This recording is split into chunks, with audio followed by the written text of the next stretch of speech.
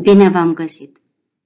Mă numesc Monica Petre și astăzi vă voi prezenta resursa educațională deschisă, reprezentarea numerelor reale pe axa numerelor. Pentru început ne vom aminti definiția axei numerelor. Axa numerelor este o dreaptă pe care s-a fixat un punct O care poartă numele de origine a axei, un sens pozitiv de parcurgere pe care noi l-am marcat printr-o săgeată și o unitate de măsură care în cazul nostru este mărimea segmentului OA. Privind axa de pe acest slide, ne propunem să determinăm abscisele unora din punctele trasate pe axă, adică punctul A, să zicem, are abscisa 1, pentru că de la O la A am parcurs o unitate. Punctul D are abscisa 4, pentru că de la O la D am parcurs 1, 2, 3, 4 unități și în sens pozitiv. Punctul um, D' are abscisa minus 4 pentru că de la O la D' am parcurs o unitate, 2, 3, 4 unități și în sens negativ. Punctul G' are abscisa minus 7 pentru că de la O la G' am parcurs o unitate, 2, 3, 4, 5, 6, 7 unități în sens negativ. Dacă ne propunem să aflăm punctul a cărui abscisă este, 1 pe, uh, este 9 pe 2, să spunem, vom proceda astfel. 9 pe 2 este egal cu 8 pe 2 plus 1 pe 2 și va fi 4 plus 1 pe 2.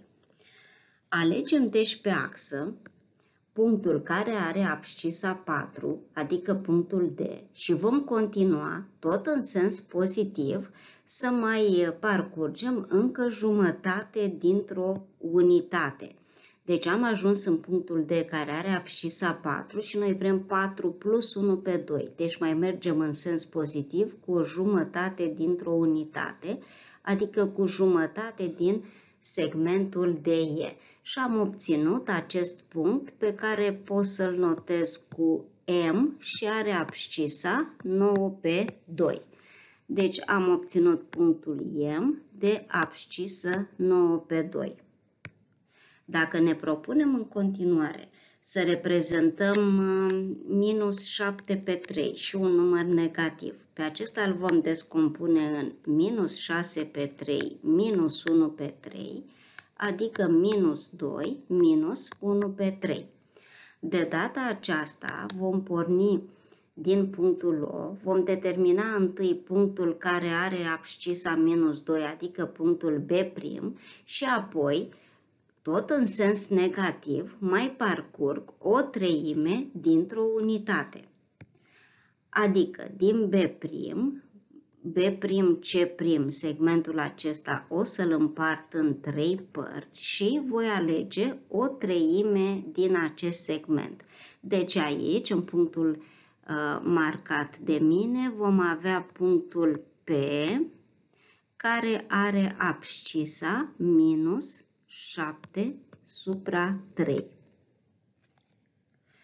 Observăm că toate punctele care au abscise pozitive se află în uh, partea pozitivă a axei, adică la dreapta punctului O, iar cele care au abscise negative se află la stânga punctului O. Și mai putem să mai observăm ceva, de exemplu, distanța de la O la A este egală cu distanța de la O la A'.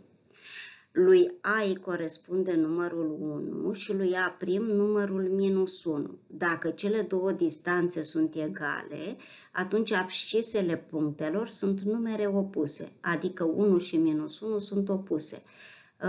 Același lucru se întâmplă, să spunem, și cu E și E prim. Distanța de la O la E este 5, distanța de la O la E prim este tot 5, E are abscisa 5, E prim are abscisa minus 5 și atunci vom spune că 5 și minus 5 sunt două numere opuse. Vom reprezenta în continuare pe axă numere iraționale. Vom folosi spirala lui Arhimede pentru a construi segmente care să aibă ca lungime radical din 2, radical din 3, radical din 5 și apoi vom afla pe axă punctele care să aibă ca abscise pe plus minus radical din 2, plus minus radical din 5 și așa mai departe. La spirala lui Arhimede se pornește de la triunghiul dreptunghi chisoscel ABC. Catetele sunt egale cu 1. Dacă aplicăm teorema lui Pitagora, atunci AC pătrat este egal, deci din teorema lui Pitagora, cu AB pătrat plus BC pătrat, adică 1 la pătrat plus 1 la pătrat, 1 plus 1 înseamnă 2. Deci rezultă că AC este egal cu radical din 2. În următorul triunghi dreptunghic ACD, AC va avea mărimea radical din 2 CD1 și vom calcula AD pătrat, tot cu teorema lui Pitagora, și egal cu AC pătrat plus CD pătrat, egal cu radical din 2 la pătrat plus 1 la pătrat, egal cu 2 plus 1, adică 3, rezultă că AD este radical din 3. Dacă AD este radical din 3, DE este 1, o să-l calculăm pe AE pătrat, care va fi egal cu AD pătrat plus DE pătrat, adică radical din 3 la pătrat care e 3 plus 1 și e 4, rezultă că AE este egal cu 2,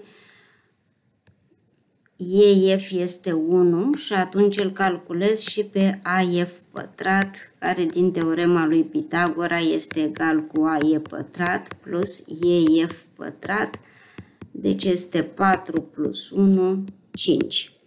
Rezultă că AF este radical din 5 și procedeul poate continua. Ne folosim în continuare de compas. Alegem compasul și vom construi uh, un segment care să aibă mărimea radical din 3. Puțin îl mai micșorăm.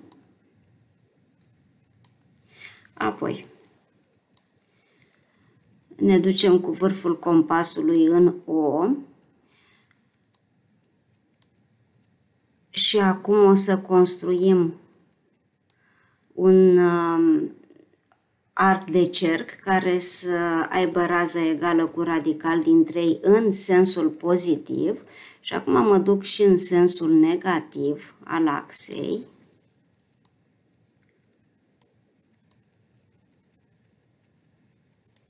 Da.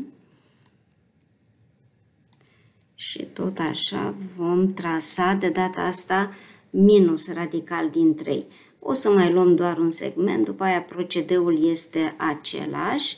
Mă duc cu vârful compasului în, tot în punctul A și iau de data asta în deschizătura compasului un segment care să aibă mărimea radical din 5.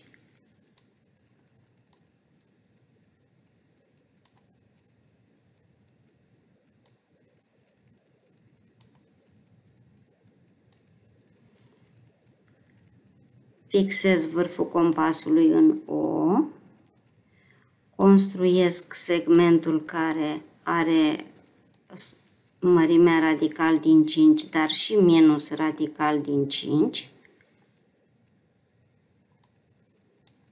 Nu mai avem nevoie de compas. Deci, am obținut punctul um, M aici,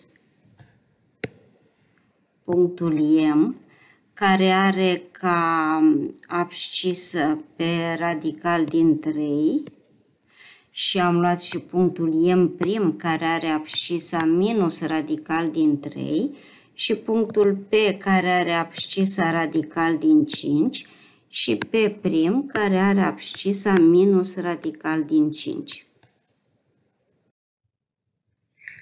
Vă propun să exersați cele învățate astăzi, rezolvând următoarele exerciții. 1. Reprezentați pe axa numerelor numerele minus 7 pe 4 și 11 pe 3. 2. Să ne amintim de spirala lui Arhimede. Construiți, folosind spirala lui Arhimede, un segment de lungime radical din 8. Reprezentați pe axa numerelor numerele radical din 8 și minus radical din 8. Folosind doar compasul, reprezentați pe axa numerelor numărul radical din 32. Știați că John Wallis, care a trăit între 1616-1703, a fost un matematician englez, profesor la Oxford, care a avut pentru prima dată ideea de axa numerelor și a introdus simbolurile infinit și mai mare sau egal? Atât pentru astăzi, la bună vedere!